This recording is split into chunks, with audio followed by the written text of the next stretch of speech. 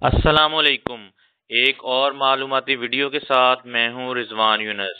آج ہم بات کریں گے پارٹس آف ہیل کے بارے میں یعنی دوزخ کے حصے۔ حدیث مبارک کے مطابق، دوزخ سات حصوں پر مشتمل ہے۔ گناہ گاروں کو ان کے گناہ کے اعتبار سے مختلف حصوں میں ڈالا جائے گا۔ سب سے نچلا درجہ حاویہ کہلاتا ہے۔ اس میں منافقین ڈالے جائیں گے۔ اس سے اوپر والا حصہ جہیم کہلاتا ہے۔ اس میں مشرقین یعنی بت پرست جائیں گے۔ اس سے اوپر والا حصہ سکر ہے، جس میں ستارہ پرست یعنی سورج، چاند، ستاروں اور سیاروں کی پوجا کرنے والے لوگ داخل کیے جائیں گے۔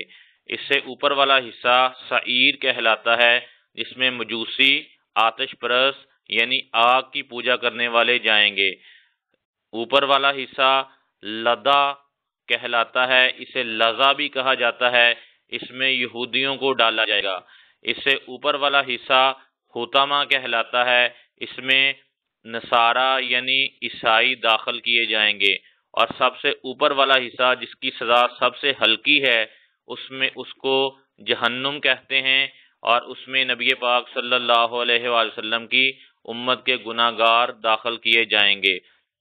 ان جہنم کے حصوں کا ذکر حضرت جبرائیل علیہ السلام نے نبی پاک صلی اللہ علیہ وآلہ وسلم کے پاس آ کر خود کیا اور نبی پاک صلی اللہ علیہ وآلہ وسلم اس بات کو سن کر بے ہوش ہو گئے اور تین دن تک غمگین رہے۔ اس کے بعد نبی پاک صلی اللہ علیہ وآلہ وسلم کو اللہ کی طرف سے یہ خوشخبری سنائی گئی کہ اللہ تعالیٰ آپ کی امت کے ساتھ وہ نہیں کرے گا جو پہلی امتوں کے ساتھ ہوا۔ تو اللہ رب العزت سے دعا ہے کہ اللہ تعالی ہمیں نیکیاں کرنے کی توفیق عطا فرمائے اور جہنم کے ان حصوں سے اپنی حفاظت میں رکھے اور ہمارا خاتمہ ایمان پر فرمائے۔ امید ہے ہماری، آپ کو ہماری یہ ویڈیو پسند آئی ہوگی۔